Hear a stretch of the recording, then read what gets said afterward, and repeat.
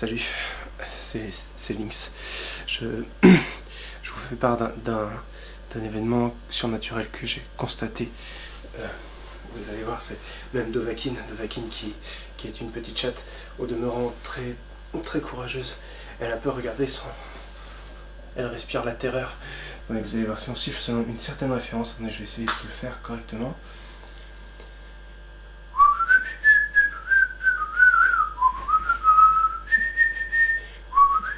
Là, putain, Plectrum, bordel de merde, on avait dit la perruque. Mais la chier ta perruque Mais personne va y croire si tu mets pas la perruque. Mais personne va y croire même si je la mets. Non, c'est bon, je Mais c'est pas un fantôme, c'est Plectrum Ta gueule, ok, bon.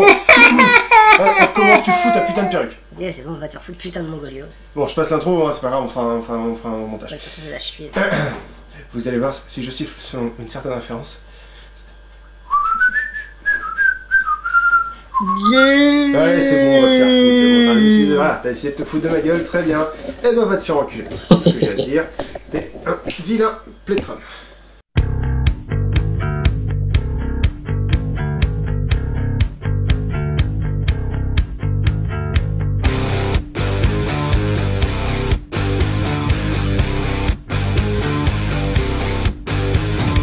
Bonsoir à tous et bienvenue à ce point culture sur les fantômes. Les fantômes sont souvent représentés comme des halos pâles et lumineux, censés représenter les dauphins.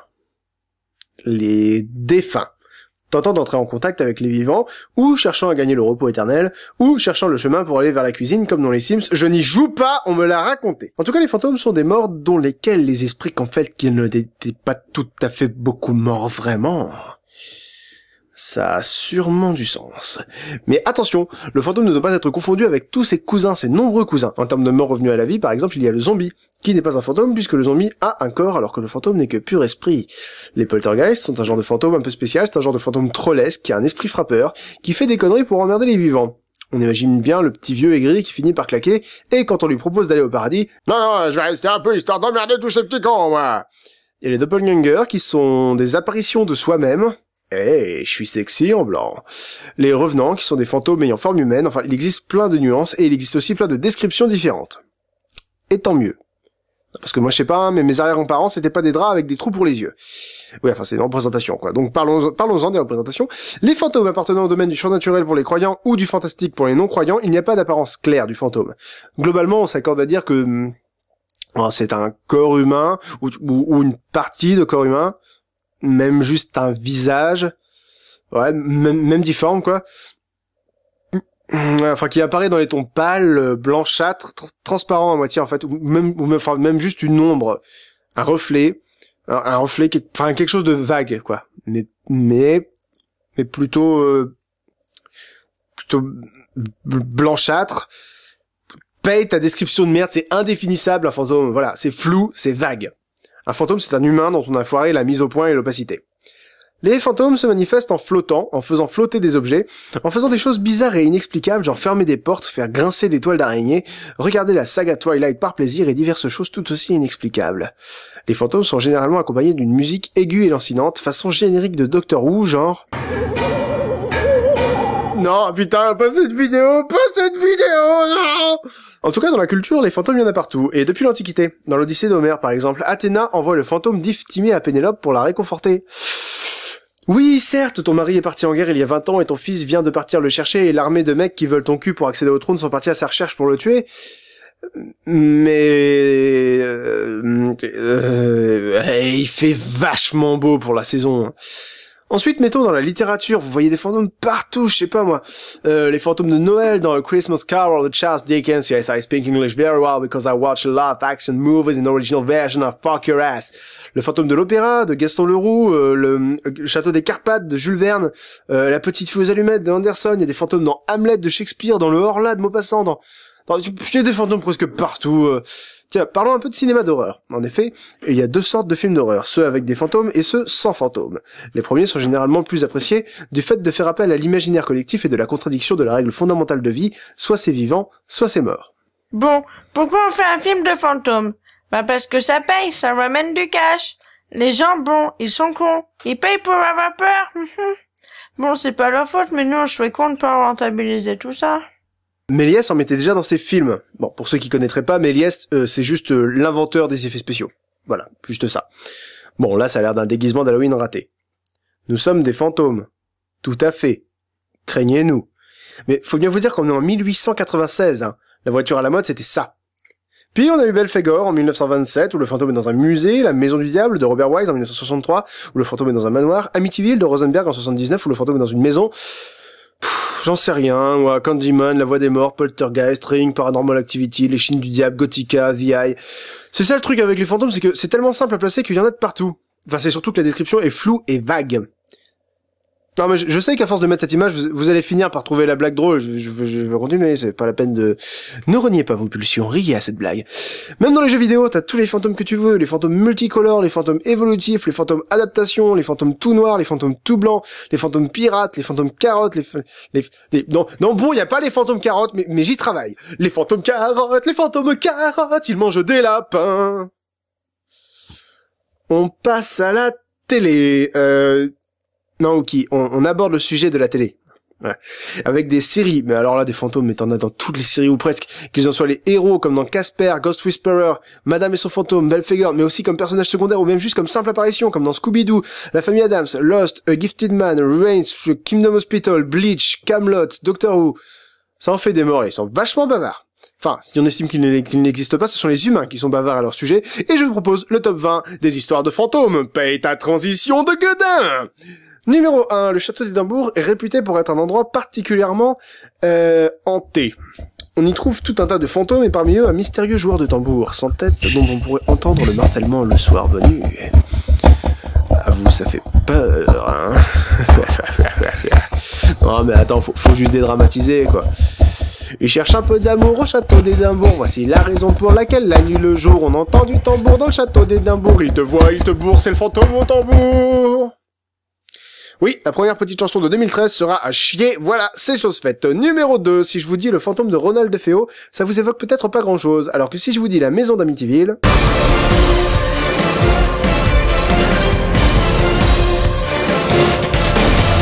Tu te calmes, montage, tu te calmes pour replacer les faits, c'est l'histoire d'une famille, la famille DeFeo, qui achète une maison à Amityville. Amityville, la ville de l'amitié Tout se passe bien pendant une dizaine d'années, puis une nuit, Ronald Jr., le fils aîné de la famille, prend un bol de céréales, un grand verre de jus d'orange, le fusil du papa, et démonte la face à ses deux parents, ses deux frères et ses deux sœurs.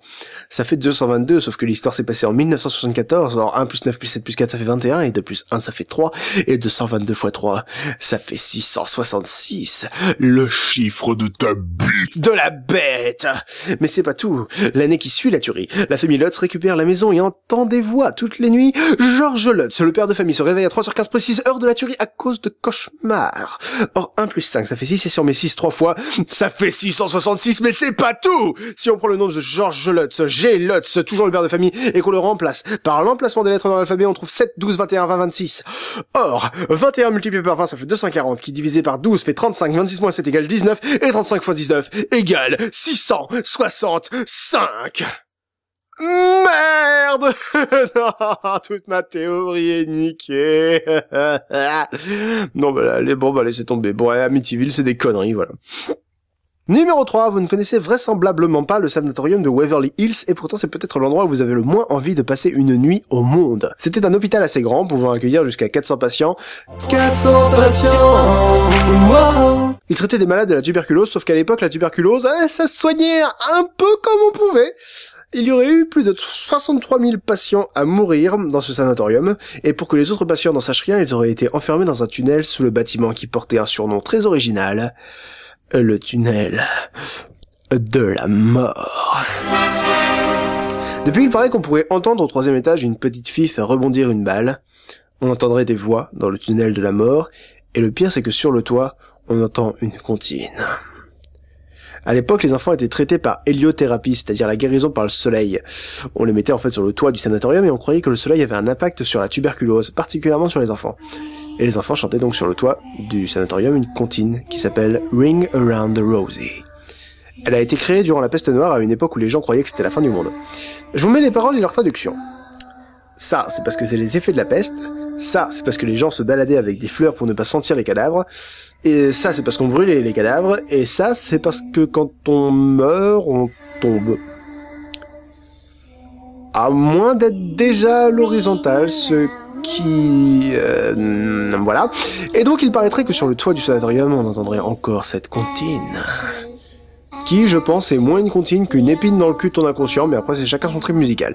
Numéro 4, juste une photo, celle-là. Elle a été prise à Raynham Hall en Angleterre, et c'est probablement la photo de fantôme la plus connue du fait que son authenticité est rarement discutée. Il s'agirait de Dorothy Townshend, la femme de l'ancien propriétaire du manoir. On la surnomme la Dame Brune, à cause de sa robe qui était... brune. Euh, ouais. Hmm, Peut-être en réglant la mise au point Ah bah voilà, c'est beaucoup plus clair. Selon les versions, elle est morte en bas de l'escalier où on a fait croire à sa mort alors que son mari l'avait enfermée. Enfin, en tout cas sur cette photo, elle est blanche, floue et pas trop trop opaque. Ce mot est vachement agressif. Numéro 5 sur la liste de mes destinations de vacances, j'avoue que si je vais faire un tour à Saint-José en Californie, je passerai également faire un tour à la mystérieuse maison Winchester. Sarah Winchester, la femme du fils du gars qui a inventé le pampan, perd son premier enfant, puis quand son beau-père meurt et que donc le fiston prend la relève, il meurt aussi. Bon, elle commence à penser que peut-être sa famille est maudite un peu, alors elle va voir un médium qui lui dit de construire une maison pour héberger les âmes des victimes des armes Winchester. Sauf que les voix qui la guident durant les travaux sont un peu des bites en architecture, et lui demande de construire des escaliers qui mènent nulle part, des portes qui s'ouvrent dans le vide, d'autres portes qui s'ouvrent sur des murs, wouhou Et finalement, peut-être qu'aucun fantôme n'habite dedans, et qu'elle a juste cramé ce qui lui est resté de temps et de santé mentale pour rien. Genre les fantômes ils sont arrivés. Euh, c'est quoi cette baraque de merde exactement là?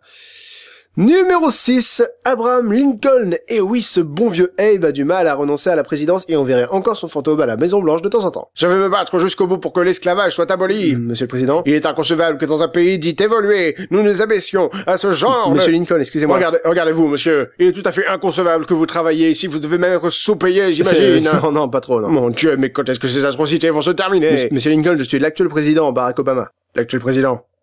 Des hommes de ménage? Non, non, des États-Unis. C'est quoi ces conneries?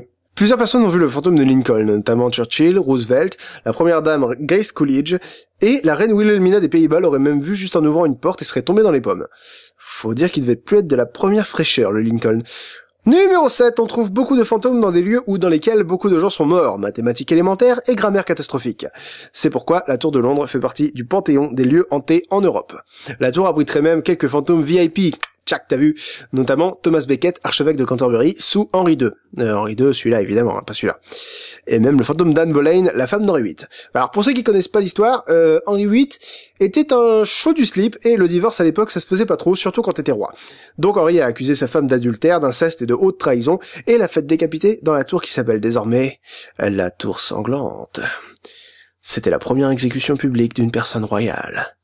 Depuis, Anne revient à la tour sanglante tous les ans, le jour de son exécution. Est-ce que c'est pas trop mortel comme histoire, sérieux? Numéro 8, euh, l'histoire est un peu longue, alors si vous voulez faire une pause parce que c'est vraiment trop d'excitation, c'est maintenant. La plantation des Myrtles, à ne pas confondre avec la plantation des Myrtilles, qui est une excellente vanne mais qui n'existe pas. La plantation des Myrtles est fondée sur un ancien cimetière indien, C'était le détail cliché. et on pourrait y voir le fantôme de Chloé. Une jeune femme très belle, amusée semble-t-il par le maître des lieux dont elle était l'esclave, puisque c'est ainsi que ça fonctionnait à l'époque, dont le nom a été rayé du registre de la famille dont la plantation était une propriété. C'était quoi le début de cette phrase déjà?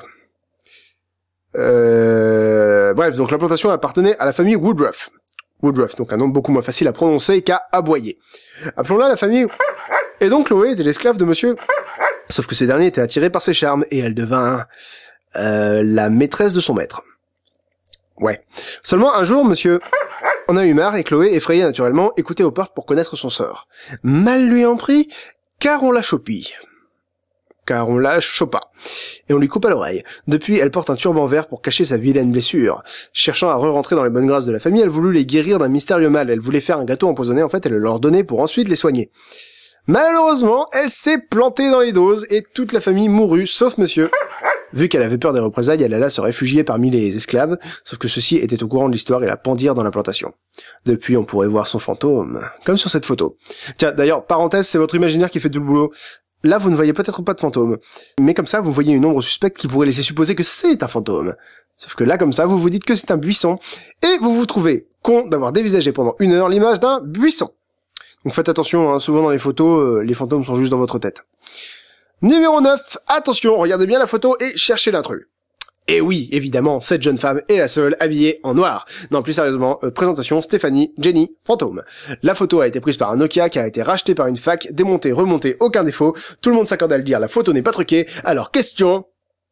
Qu'est-ce que c'est? Qu'est-ce que c'est? Numéro 10, l'histoire se passe quelques jours avant le démantèlement du centre aéronautique naval de Lee and Solent, dans le Hampshire, en Angleterre, comme son nom l'indique. Un mécanicien, Freddy Jackson, meurt dans un accident tragique, impliquant les hélices d'un bateau. Il s'est transformé en rosette de lion ou en salami, mais ce n'est qu'après que le paranormal survient. Le lendemain, le commandant Victor Godard prend une photographie du groupe avec le, avant le démantèlement de l'unité. La joie est à son comble, enfin le comble de la joie militaire en tout cas, tout le monde est tiré à quatre, à épingles, tout le monde a son chapeau, qui fait quand même vachement gai, tout le monde, sauf lui. Ses camarades sont formels. Il s'agit de Freddy Jackson. Est-ce que t'as des fuites au niveau du pissou? Parce que moi oui. Je vais me changer, je reviens. Numéro 11. J'essaie d'accélérer un peu parce que mine de rien, les histoires de fantômes, c'est loin à raconter. Alors ici, nous avons le révérend Ralph Hardy qui voulait prendre une photo en 1966 de l'escalier du National Maritime Museum à Greenwich. Et surprise Et comme d'hab, les experts ont conclu que la photo était pas truquée, blablabla, on enchaîne. Numéro 12. Ici, nous avons une photo de la bibliothèque du manoir de Lord Combermer. La photo a été prise en 1891. Lord Combermer est mort en 1865. Question, c'est qui lui? Après bon, laissez-moi vous parler du temps d'exposition. Vous le savez, une photo se prend généralement très rapidement, mais pas forcément. Vous pouvez choisir, en cas de très basse lumière par exemple, d'augmenter ce qu'on appelle le temps d'exposition. Pour faire court, imaginez un robinet. Plus vous le laissez ouvert longtemps, plus il y a d'eau. La lumière c'est pareil, plus vous laissez le temps à la lumière d'arriver au capteur ou à la pellicule, plus il y aura de lumière. Aujourd'hui, les capteurs et les pellicules sont ultra sensibles et permettent d'obtenir des photos tout à fait correctes en une fraction de seconde, mais en 1891, les temps d'exposition, c'était autre chose. En l'occurrence, là, il était réglé sur une heure. Alors je vais vous montrer un truc que j'ai fait moi-même. Ça, c'est une photo. Et ça, c'est la même photo avec un temps d'exposition de 5 minutes durant lesquelles je suis resté une minute devant l'appareil photo. Et oui, vous l'avez compris, il suffit qu'un abruti ait fait le malin devant la caméra pour qu'on voit une silhouette floue et pas trop trop opaque. Non, décidément, ce mot est hyper agressif. Numéro 13, au cimetière Boot Hill en 96, Ike Clinton prend une photo d'un de ses potes habillés en cowboy, sans doute des membres de la fierté gay. Non mais j'en ai marre aussi, toutes les photos de fantômes sont en noir et blanc quoi. Je veux dire ok, ça ressemble à un gars avec un chapeau, mais ça peut être n'importe quoi d'autre quoi. Bon, les gars ont juré qu'ils étaient seuls dans le cimetière, mais bon voilà, leurs paroles ça vaut ce que ça vaut. Moi je suis bien tenté de dire comme la visiteuse de ce blog, c'est n'importe quoi. Euh,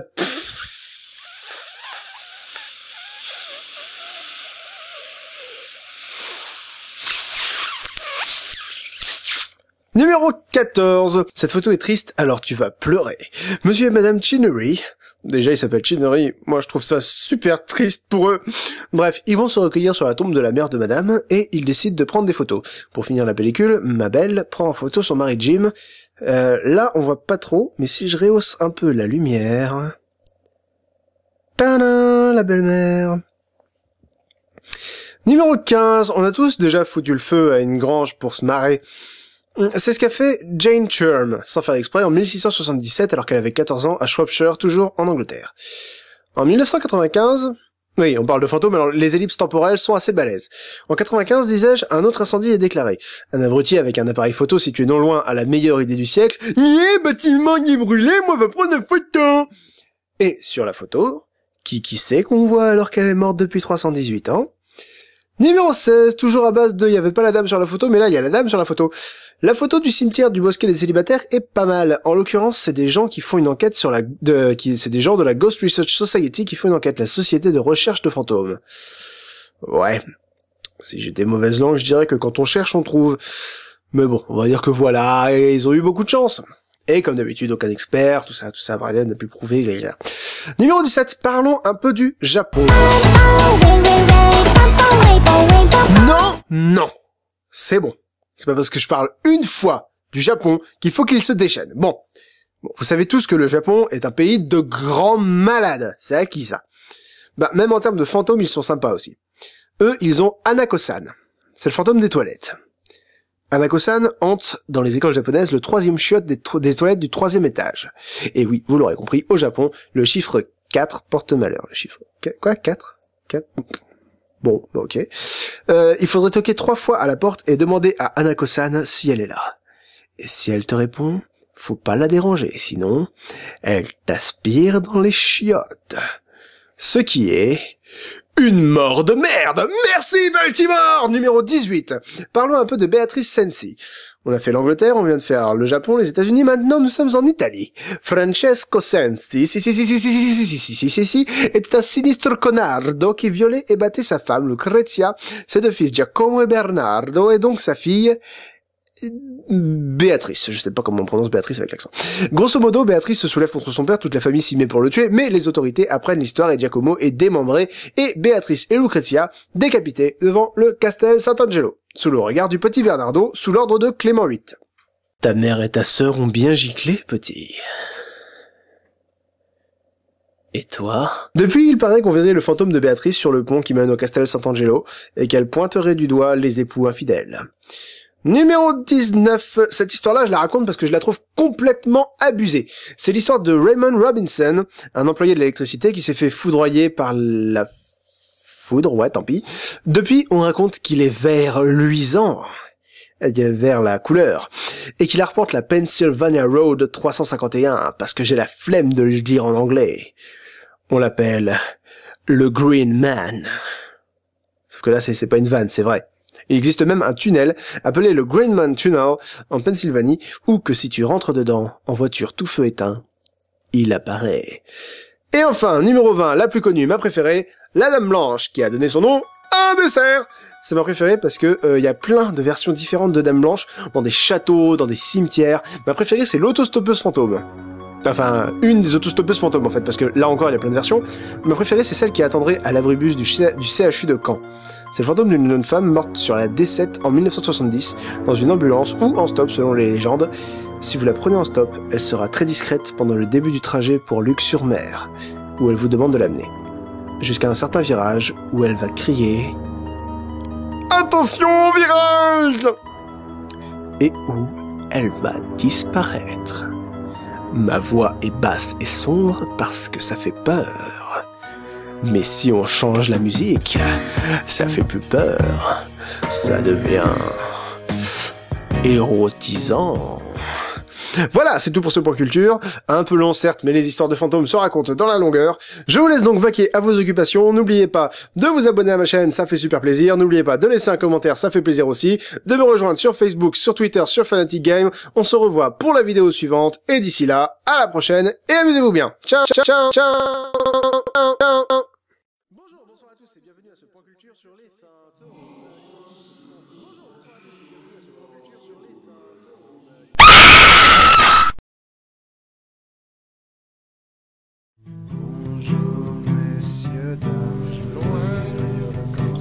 L'enchaînement mi mineur sol, los reni mi mon. Ouvrez le papier hygiénique, lol, lol, lol.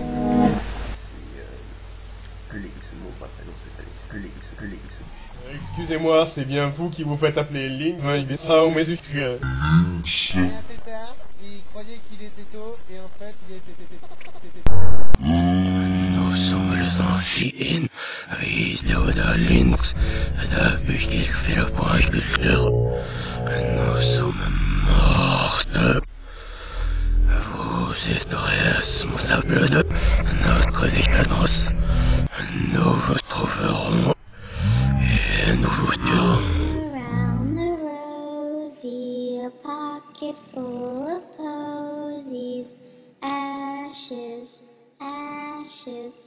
we all fall down.